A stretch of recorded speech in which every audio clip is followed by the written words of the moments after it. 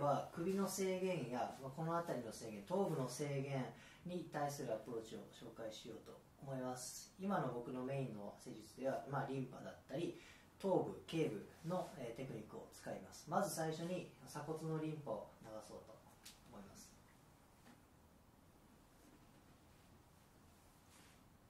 でまあこれウォームアップ的なやつなのでこれやっといてからちょっと可動域チェックですね。ここら辺でちょっと首の制限があります。こっちはそんなに悪くないですね。で進展伸ばすこんな感じですね。でまあちょっとリンパも続けますね。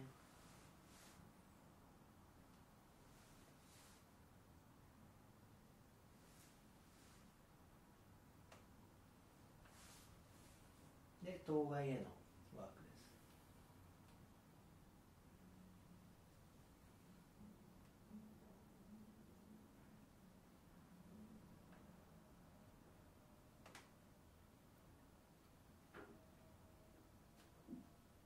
今頭の中に何か感じますか？奥の方に。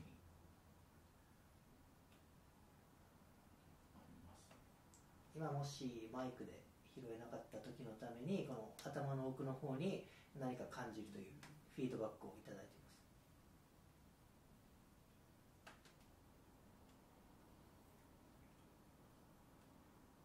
だいぶ首の力抜けてる感じなんです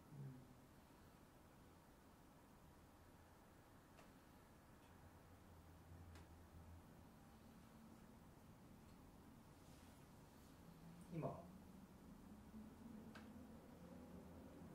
頭の中とか頭とか中から右の目の方に。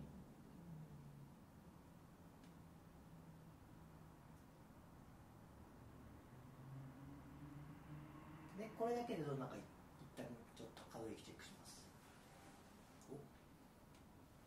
抵抗が入ってますね。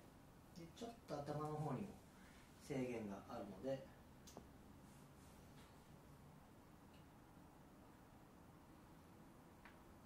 この辺の頭痛とかありますか？硬さとか。硬さはありま左のこの部分の硬さがあるそうです。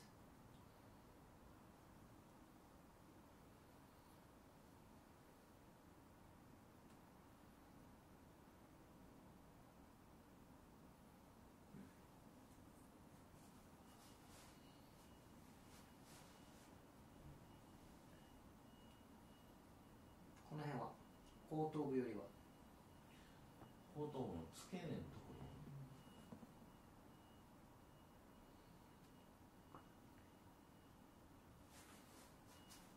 もう一回可動域チェックします、うん。だいぶ取れて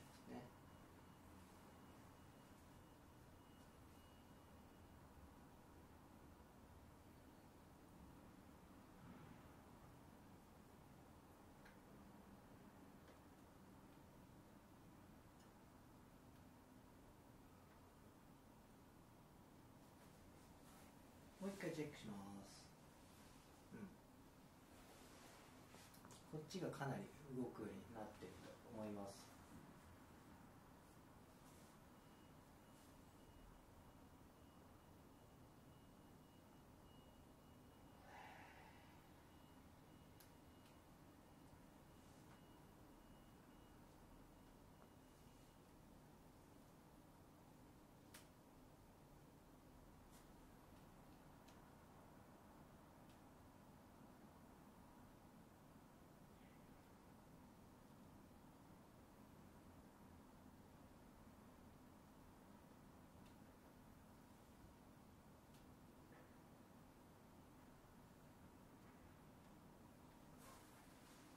うんまずいい返すはい進展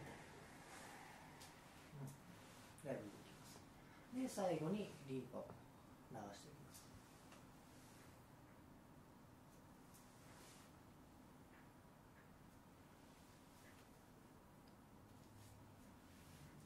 でもう一度最後に可動域チェックです、うん。めっちゃ動きますね。進展こんな感じで今やったようにリンパとか頭への施術でこう可動域が変わることもそう、うん、すごくあるのでもしこの動画気に入っていただいた方は高評価とチャンネル登録よろしくお願いします。